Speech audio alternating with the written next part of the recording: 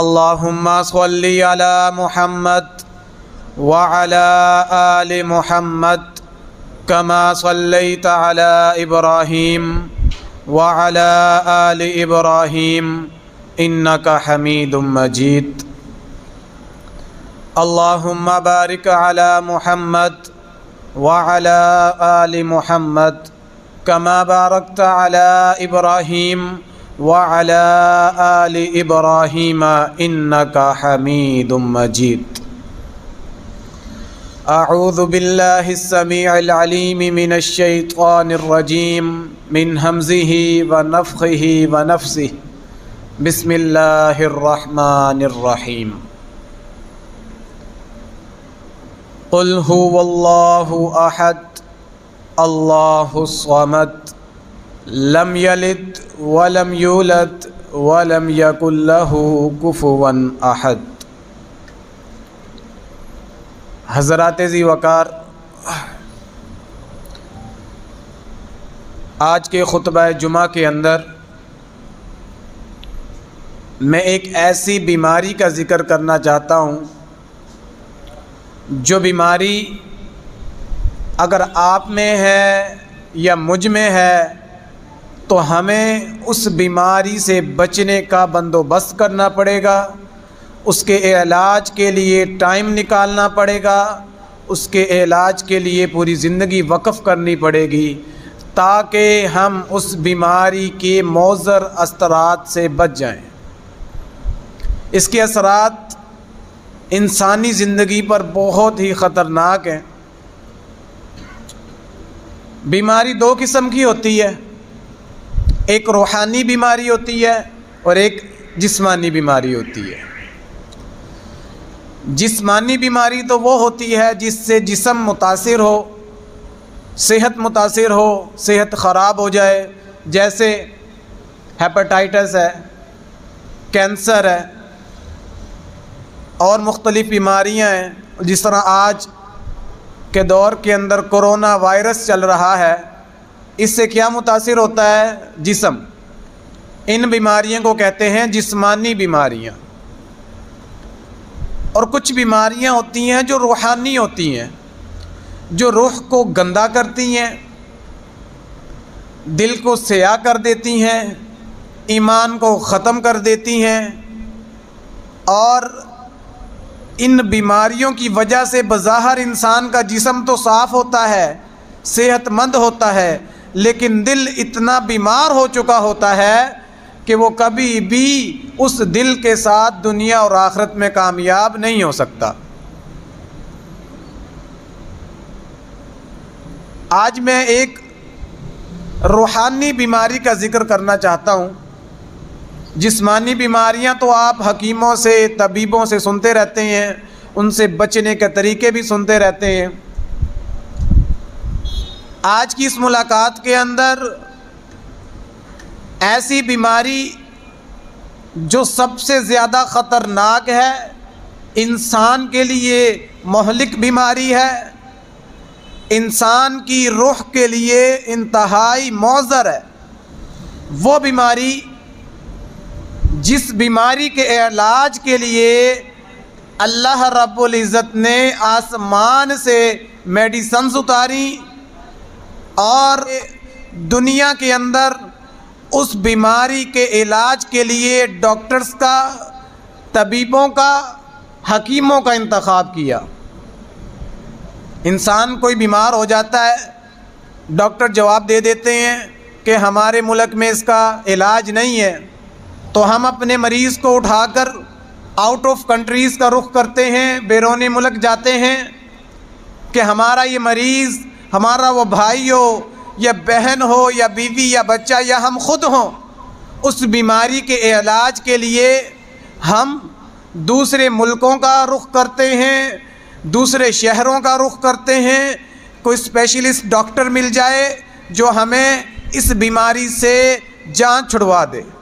अल्लाह रब्बुल इज़्ज़त ने इस रूहानी बीमारी के इलाज के लिए दुनिया के अंदर एक डॉक्टर्स की टीम को तश्कील दिया, जिनका नसाब कोई मेडिकल कॉलेज से नहीं छपा था, जिनका नसाब पंजाब बोर्ड से नहीं छपा था, जिनका नसाब अल्लाह रब्बुल इज़्ज़त ने आसमान से नाजिल फरमाया था, जिस मेडिसन को अल्लाह रब्बुल इज़्ज़त ने आसमान से नाजिल किया था उस बीमारी के इलाज के लिए बेहतरीन हकीम चुने, वो हकीम, वो तबीब चुने, जिनके अंदर वो रूहानी बीमारी नहीं थी। उन रूहानी बीमारी से पाक तबीबों, हकीमों और उन डॉक्टर्स की टीम को अल्लाह ने रसूल और पैगंबर का नाम दिया। अल्लाह रब्बुल इज़्ज़त ने दुनिया के अंदर उस रूहानी बीमारी के इलाज के लिए इंसानियत को उस बीमारी के असरात से बचने के लिए एक बेहतरीन किस्म के डॉक्टर्स की टीम को तश्कील दिया, जिनकी तादाद एक लाख चौबीस हज़ार है, कमो पेश। वो आए लोगों को उस बीमारी के बारे में बताएँ, लोगों को उन बीमारी से बचाएँ, उनका इलाज करते हुए उनको बेहतरीन और आला ज़िंदगी मुहैया करें। लेकिन फिर भी हम इस बीमारी में मुबतला रहे तो हमारी ये कम बख्ती है, आने वाले लोगों को इसके अंदर गिराते चले जाएँ, इस बीमारी में मुबतला करते चले जाएँ, और लोगों को इससे आगाह ना करें, इससे बड़ी कोई कम नहीं है।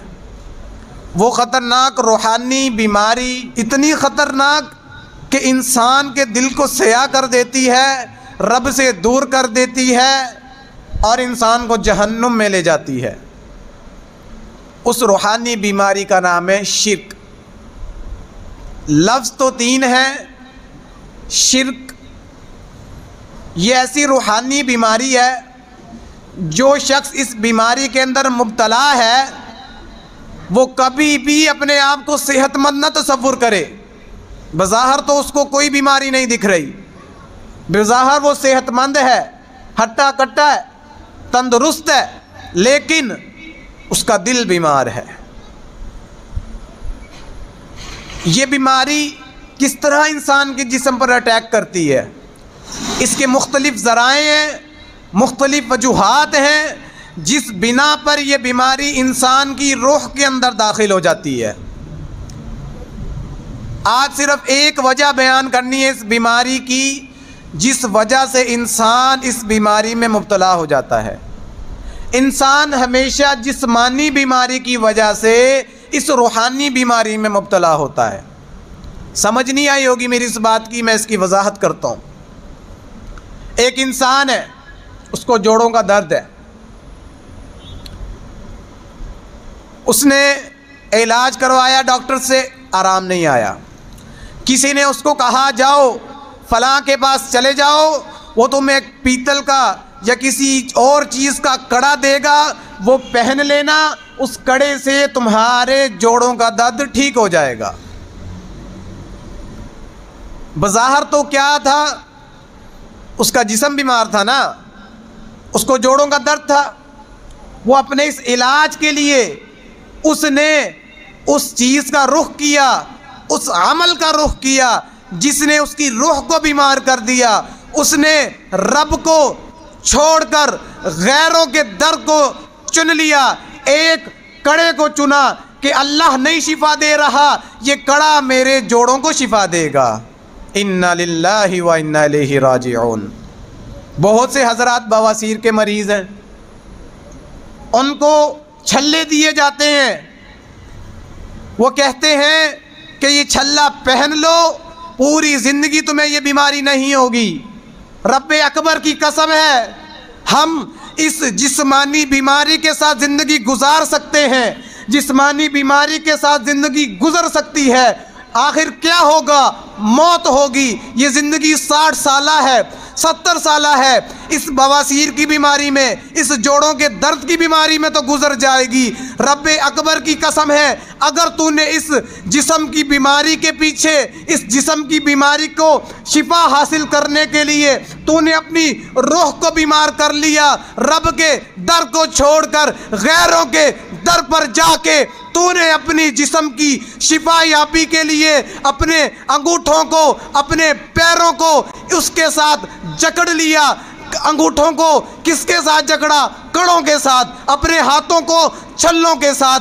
इस तेरे अकीदे ने, इस तेरे अमल ने तेरी रूह को बीमार कर दिया। रब से तुझे दूर कर दिया। रब के दर को तूने छोड़ दिया। तेरी रूह बीमार हो गई। इस बीमार रूह के साथ तू कभी भी कामयाब नहीं हो सकता। तूने जिस्म की बीमारी को, रूह की बीमारी पर तरजीह दी। दुनिया तो कमाली आखरत बर्बाद कर दी। अल्लाह अकबर। नज़र लग जाती है, काले रंग का धागा बाँध लेते हैं। जी, नज़र से हिफाजत होगी। नज़र लगवाने वाला कौन है? अल्लाह है।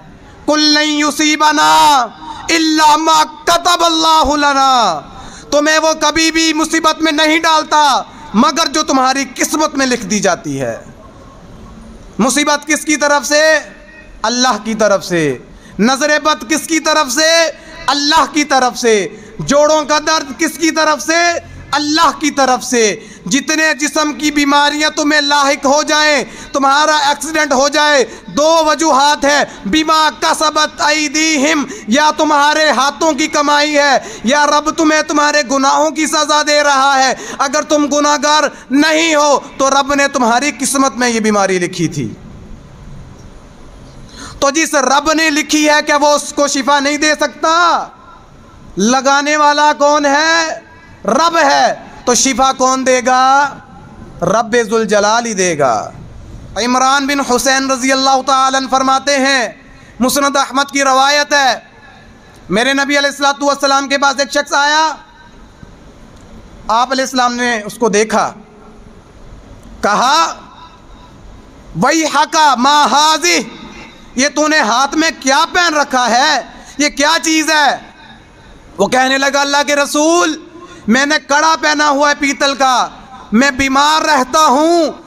मुझे लगता है मेरा ईमान है, मेरा अकीदा है कि इस कड़े की वजह से मैं शिफा याब हो जाऊँगा, मेरी बीमारी दूर हो जाएगी। मेरे पैगंबर ने फरमाया, अफसोस है तुझ पर। ला तजीदू का इल्ला वहनन। रब्बे अकबर की कसम है, ये कड़ा तेरी बीमारी में इजाफा ही करेगा, कोई कमी नहीं करेगा। और सुन ले, अगर ये कड़ा पहनते हुए तेरा ईमान ये हो कि ये कड़ा, ये छल्ला मुझे शिफा देगा, अगर तू इस हालत में मर गया अब लाह तू अबदा, तू कभी भी कामयाब नहीं हो सकता। क्यों नहीं हो सकता? वमई युशरिक बिल्लाह फ़कद हर्रम जन्ना जिसने मेरे रब का दर छोड़ दिया, गैरों से, पत्थरों से, हजरों से, कड़ों से छल्लों से शिफा हासिल की। रब के दर को छोड़कर रब से शिफा लेने के बजाय गैरों से शिफा ली। ला अफलाहता, तू कभी कामयाब नहीं होगा, अबदा कभी हो ही नहीं सकता। क्यों? वमई युशरिक बिल्ला जिसने अल्लाह का दर छोड़ दिया, गैरों के दर को थाम लिया, उस पर अल्लाह ने जन्नत को हराम कर दिया। तू जिस्मानी बीमारी के लिए रब का दर छोड़ता है। जिसने बीमारी लगाई तो वो शिफा देने पर भी कादिर है। वो रब है। और भाई, जिसने तुझे बनाया, तुझे पैदा किया, तुझे आँखों जैसी नेमतें दी, और जिसने तेरा एक एक जोड़ जोड़ दिया, क्या वो रब तेरे जिस्म को नहीं जानता? क्या वो तुझे शिफा नहीं देगा? तो गैरों के दरों पर जाता है। रब के दर को छोड़कर कि फ़लाँ मुझे शिफा दे देगा, फ़लाँ मुझे सेहत दे देगा। और आज ये अलमिया बन गया है। अक्सर देखने को मिलता है, बेशुमार ऐसे लोग हैं जो बे औलाद हैं। औलाद नहीं है। क्या है? कोई जिस्मानी बीमारियों में मुबतला हैं, कोई बांझपन में मुबतला हैं। मर्द हो, ख़वातीन हो ऐसी बीमारियाँ लाक हो गई हैं उनको कि वो औलाद पैदा नहीं कर सकते। तो क्या करते हैं? लोगों के दरों पे जाते हैं। अल्लाह अकबर, कोई फ़लाँ लाहौर जा रहा है, कोई मुल्तान जा रहा है जी हमने फ़लाँ दरबार शरीफ से, फ़लाँ बुज़ुर्ग से औलाद लेकर आनी है। मेरे भाई अलिया कराम का बड़ा दर्जा है। अला इन्ना अल्लाही ला खौफुन अलैहिम वला हम यहजनून अलिया अल्लाह अल्लाह के दोस्त हैं, हमसे कहीं दर्जा उनका आला है, जन्नत के अंदर भी वो आला है, दुनिया में भी इरफतें और दराजात पा चुके हैं, लेकिन उनका ये दर्जा नहीं है कि वो हमें औलाद दें। अली हजवेरी रहमतुल्लाह अलैह। अल्लाह जहाँ वो सोए हुए अल्लाह उनकी कब्र पर रहमतों का नजूल फरमाए। पूरी ज़िंदगी तोहीद का प्रचार करते रहे, लोगों को अल्लाह के दर पर जोड़ते रहे, लेकिन आज उनको दाता का नाम देकर उनसे औलाद ली जा रही है। मुझे बताओ, कोई बंदा ये साबित करे कि अली हजवेरी रहमा ताला की ख़ुद की कोई औलाद थी? उनकी औलाद ही नहीं थी।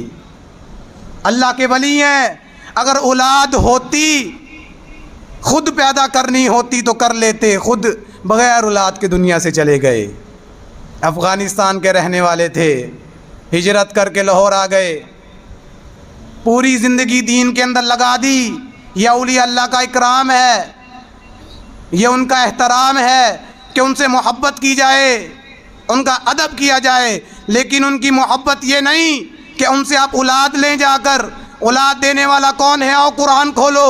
सुर शूरा है, अल्लाह फरमा रहा है यखलुकुमा यशा यह बोली मैं यशा इनासा, व यह बुली मैं यशा उज़ुकूर और हम ही लोगों को पैदा करने वाले हैं। हम ही हैं जिसको चाहते हैं बेटे देते हैं, जिसको चाहते हैं बेटियाँ देते हैं, और जिसको चाहते हैं बांझ रखते हैं। जकरिया सलाम है, सुर मरियम है, खोलो। अल्लाह क्या कह रहा है? मेरा जकरिया नब्बे साल की उम्र में बाल सफ़ेद हो चुके हैं। सफ़ेद बाल का एक बूढ़ा। अल्लाह अकबर, अल्लाह से कह रहा है, अल्लाह, मैं तुझसे मांग कर कभी मायूस नहीं हुआ। मुझे बेटा दे दे।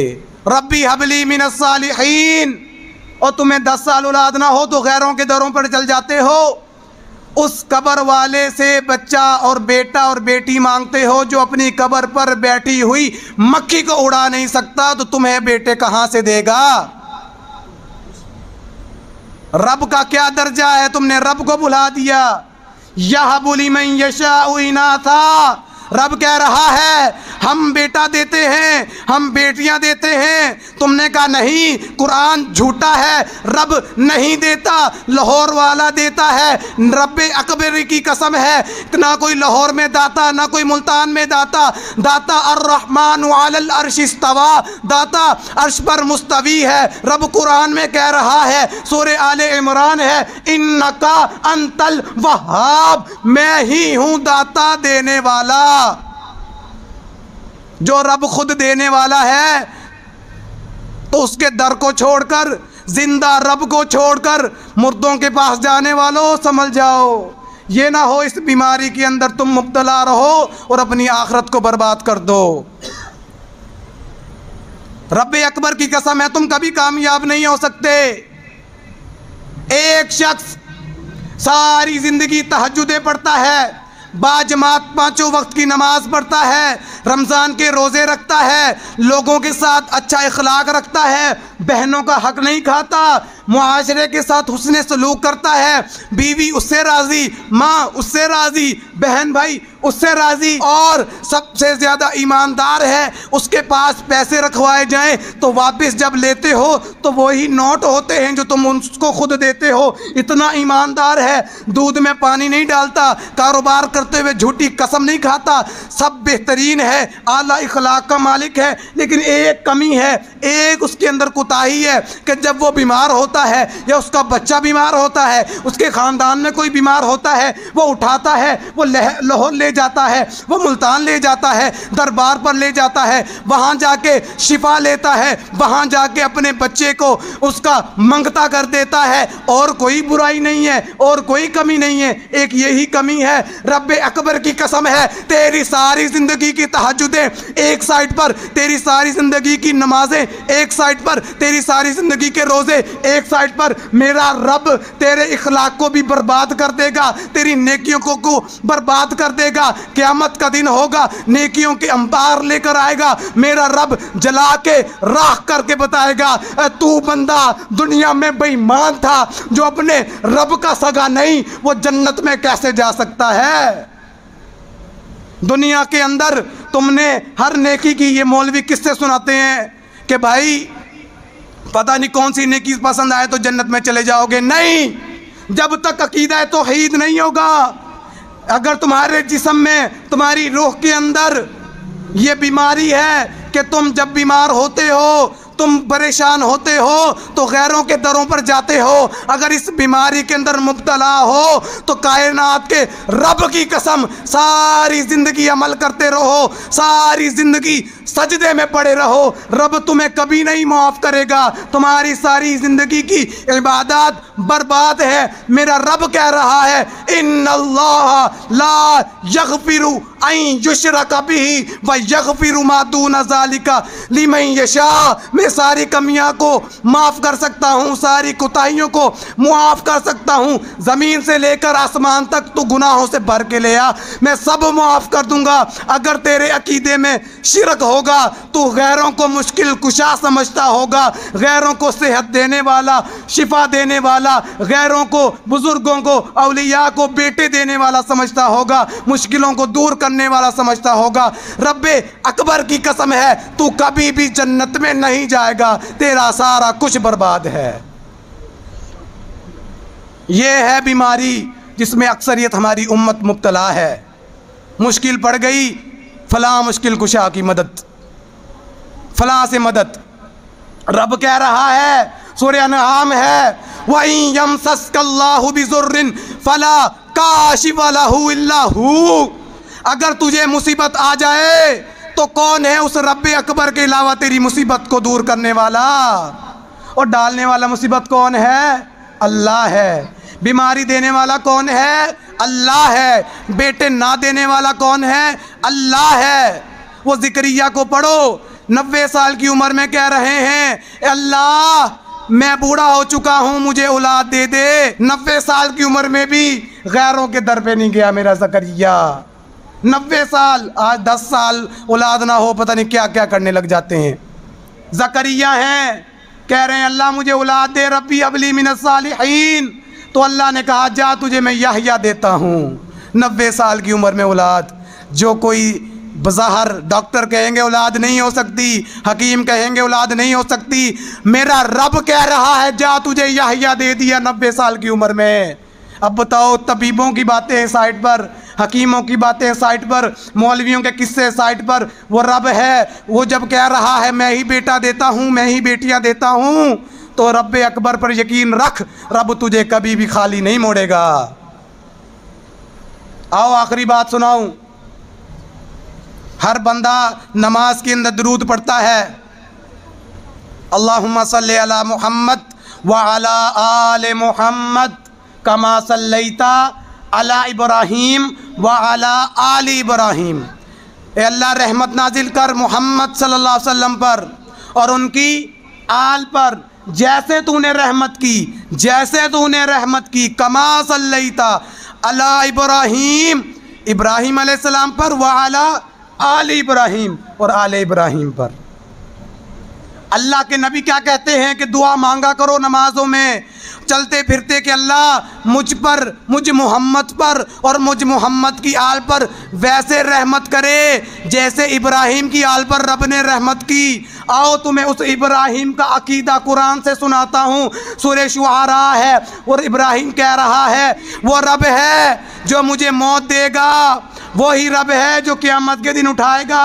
अल्लदी खलाकनी, उसने मुझे पैदा किया। फ़हुआ यह दीन वही मुझे सीधी राह दिखाता है। इब्राहिम कह रहे, मेरा रब वो है जिसने मुझे पैदा किया। मैं उस रब की इबादत करता हूँ जो मुझे सीधी राह को दिखाता है। आगे क्या फरमाया? तुम तो कहते हो कि मुझे फ़लाँ भी खिलाता है, फ़लाँ भी खिलाता है। अल्लदी हुआ युतमनी व यस्कीन। वो अल्लाह है जो मुझे खिलाता भी है, मुझे पिलाता भी है। व इदा मरिस्तुफ़ा हुआ यशफीन। और जब मैं बीमार होता हूँ, जब मैं बीमार होता हूँ, नबी कह रहा है, जब मैं बीमार होता हूँ तो कोई मुझे शिफा नहीं देता, मगर वो रब देता है। जब एक इब्राहिम का अकीदा ये है कि शिफा देने वाला अल्लाह के अलावा कोई नहीं है तो तुम क्यों कहते हो, फ़लाँ भी शिफा देता है, फलां भी बेटे देता है रब अकबर की कसम, व इज़ा मरिस्तूफ़ा हुआ यशफीन ये जुमले तुम हॉस्पिटलों में पढ़ते हो?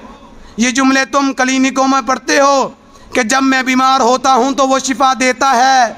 तो कौन है वो? वो रब अकबर है, कोई कबर वाला नहीं है, कोई मरा हुआ नहीं है। वो या हयू या कयूम है जो हमेशा से ज़िंदा है और हमेशा ज़िंदा रहेगा, उस ज़िंदा रब को छोड़कर जो गैरों के दर पर जाता है, ना वो कभी शिफा पाता है, ना दुनिया में कामयाब होता है, अपनी आखरत को बर्बाद कर देता है। मेरे भाइयों, इस पैगाम को अपने घरों में, ख़ानदानों में पहुंचाओ। हर जगह ये कमी है कि रब के दर को छोड़कर गैरों के दरों को पकड़ा हुआ है। रब के अलावा कोई शिफा नहीं देता, कोई बेटे नहीं देता, कोई औलाद नहीं देता, कोई रिजक नहीं देता। ये ऐसी गंदी, ख़तरनाक रूहानी बीमारी है, शिरक की। अगर तुम इसमें मुबतला हो तो तुम्हारी आखरत बर्बाद है। अल्लाह से दुआ है, अल्लाह हमारी जिस्मानी भी, रूहानी भी, तमाम बीमारियों को दूर फरमा कर हमें सेहत वाली, ईमान वाली, आफ़ियत वाली, तोहद वाली लंबी ज़िंदगी अता फ़रमाए। अल्लाह हम पर रहमतों का नजूल फ़रमाए। अल्लाह हमें हर जगह तोहद की ललकार को लेकर चलने की तोफ़ी कता फ़रमाए। आमीन वाखिर दावान अलहमदिल्ला रबालमीन